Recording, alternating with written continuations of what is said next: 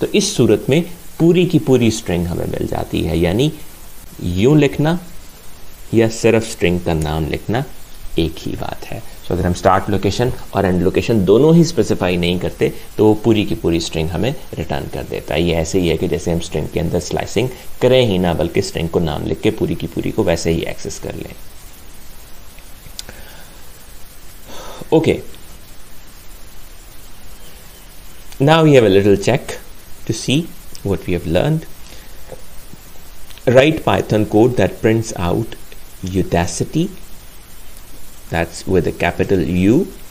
Baki character is small hai, D A C I T Y, but the first character is capital. Given the definition, S is equal to Audacity.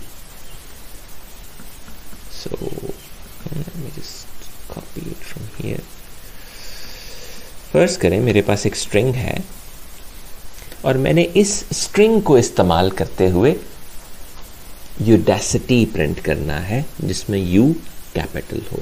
तो मुझे इस string को इस्तेमाल करना है। वैसे तो आप ये भी कह सकते हैं, जी, चलें यूडेसिटी प्रिंट करना है तो आप यूँ लिख लें print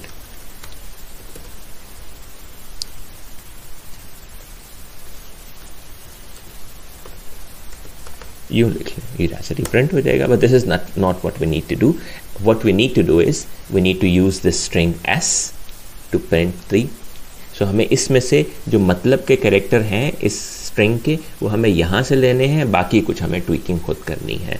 So what we do is अब अगर हम देखें, हमें ये प्रिंट करना है यूडेसिटी लेकिन इसमें यू हमें कैपिटल चाहिए। इसके D A C I T Y ये कैरेक्टर्स यहाँ पे दस्तियाब हैं।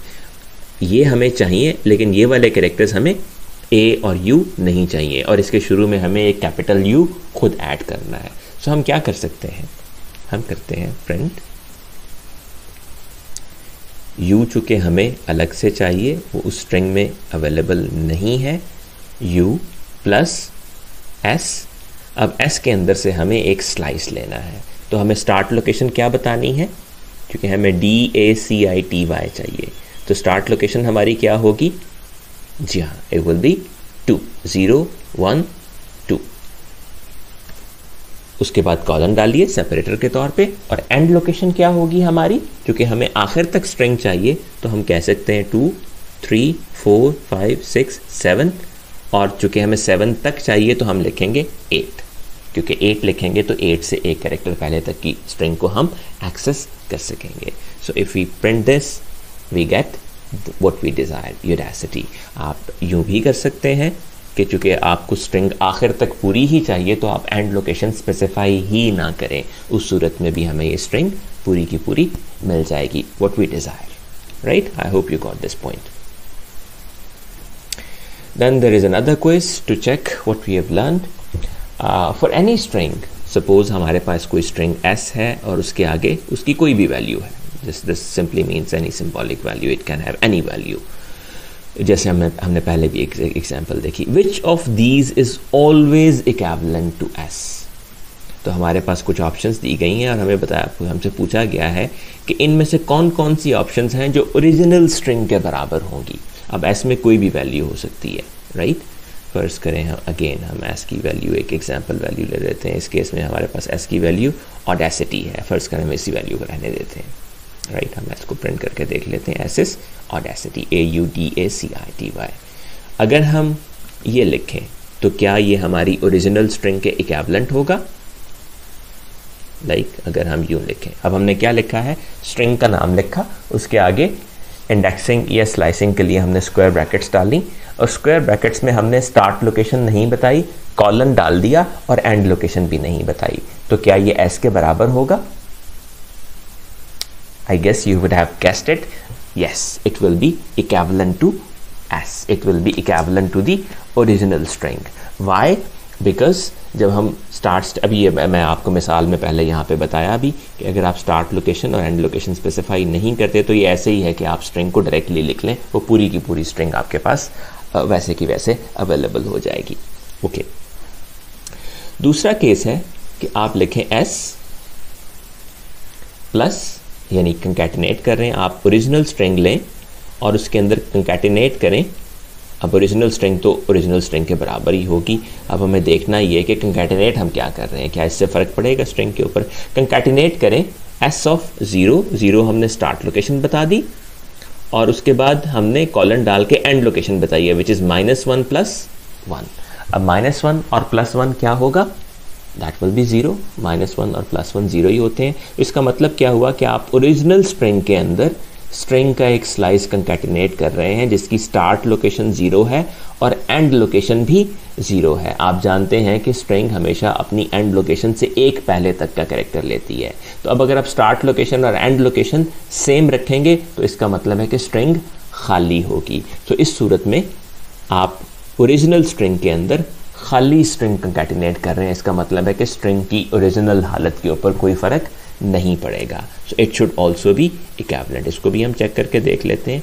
S plus S of zero and then minus one plus one right so this is the same string और एस इट इज़ रिटर्न इसको हम अगर यूँ लिखते हैं तो this is also the same minus one plus one is zero so if you directly write zero this is also going to give us the same string उसके बाद आपसे पूछा गया है कि क्या अगर हम यूँ लिखें तो ये इक्वलेंट होगा ओरिजिनल स्ट्रिंग के, यानी एस ऑफ़ स्टार्ट लोकेशन बता दी आपने ज़ीरो कॉलन डाला और एंड लोकेशन नहीं बताई। तो इस सूरत में क्या ये स्ट्रिंग ओरिजिनल स्ट्रिंग के इक्वलेंट होगी? मेरा ख्याल है आपने इसको भी ठीक कैस कर लिया होगा कि ये स्ट्रिंग भी ओरिजिनल स्ट्रिंग के इक्वलेंट होगी। क्योंकि आपने स्टार्ट लोकेशन ज़ीरो बताई तो वो ज़ीरो से री, इसको री, रीड करना शुरू कर देगा। और एंड लोकेशन चूँकि आपने स्पेसिफाई नहीं की तो मैंने आपको बताया था कि जब आप एंड लोकेशन स्पेसिफाई नहीं करते तो उस सूरत में वो स्ट्रिंग के सॉरी स्ट्रिंग के आखिर तक पूरी स्ट्रिंग को रीड कर लेता है। So this is also going to give us the same string right okay uh, next is s. Now you have not specified the start location. However you have specified the end location. अब end location आपने positive index की बजाय negative index से specify की है। और हम जानते हैं कि माइनस वन आखिरी करेक्टर को रिप्रेजेंट करता है। तो इसका मतलब भी ये बनता है कि हम स्टार्ट लोकेशन स्पेसिफाई नहीं करें तो हम स्ट्रिंग को पहली लोकेशन से रीड करना शुरू करेंगे और माइनस वन यानी कि आखिरी करेक्टर तक रीड करेंगे। राइट सो अपेरेंटली ये केस भी ओरिजिनल स्ट्रिंग के बराबर या इक्वलेंट हमें नज़र आता है। लेकिन इसको हम एग्जीक्यूट करके देखते हैं। There is a little tweak that you will see here start location is not specified and end location is अब इस केस में अगर आप देखें तो आपके पास ओरिजिनल स्ट्रिंग में से एक करेक्टर कम आया। जो आखिरी करेक्टर है, वो ट्रंकेट हो गया। वो नहीं आया इसके अंदर। Now you can try and guess कि वो करेक्टर क्यों नहीं आया। वो इसलिए नहीं आया कि जो हम एंड लोकेशन स्पेसिफाई करते हैं स्ट्रिंग उस एंड लोकेशन से हमेशा एक करेक्टर पहले तक के करेक्टर्स को एक्सेस करती है। सो so, यहाँ चूँकि हमने ये करेक्टर लोकेशन स्पेसिफाई की हुई है तो हम इस करेक्टर को एक्सेस नहीं कर पाएँगे बल्कि इससे एक पहले के करेक्टर तक हम स्ट्रिंग को एक्सेस कर पाएँगे। So we have access the whole string leaving out the last character so ये केस ओरिजिनल स्ट्रिंग के इक्वलेंट नहीं बनता right it just drops the last character okay then the the last question is that is S of we have not specified the start location यानी start location से लेके third character तक, और फिर हम उसमें कंकेटिनेट कर दें थर्ड करेक्टर से लेके आखिरी करेक्टर तक। तो क्या ये स्ट्रिंग ओरिजिनल स्ट्रिंग के इक्वलेंट होगी? इसे भी आप गैस कर सकते हैं।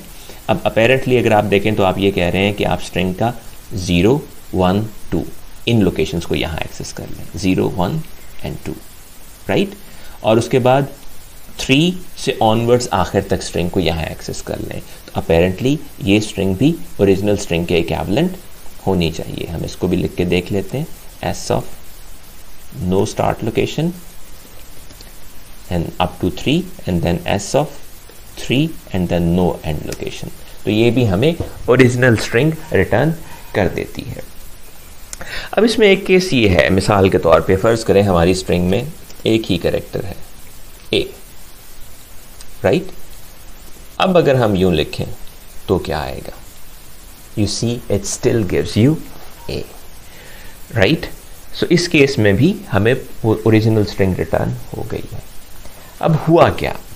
जब हम सादा इंडेक्सिंग की बात कर रहे थे लाइक like, अब आप यहाँ यहाँ देखें मैं मिसाल के तौर पे अगर वैसे एस एट थ्री लिखने की कोशिश करूँ तो मुझे मिलता है error string index out of range तो जो सिंगल इंडेक्स जब हम लिखते हैं यहाँ पे देखें हम रेंज नहीं दे रहे बल्कि सिर्फ़ एक सिंगल इंडेक्स को एक्सेस करने की कोशिश कर रहे हैं।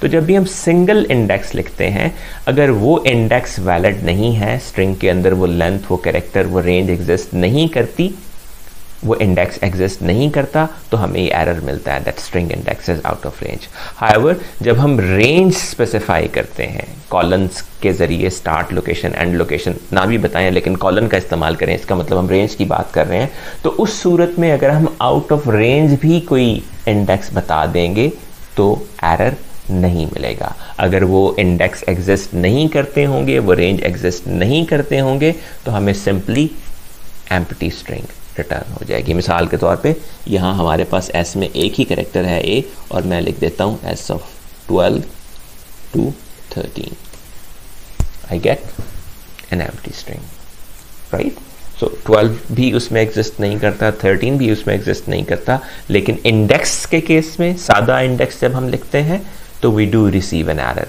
of the validity of index if it is not a valid index, we do receive an error. However, in case of specifying a range अगर वो रेंज एग्जिस्ट नहीं करती तो उस सूरत में हमें एम्पटी स्ट्रिंग मिल जाती है। एरर नहीं मिलता।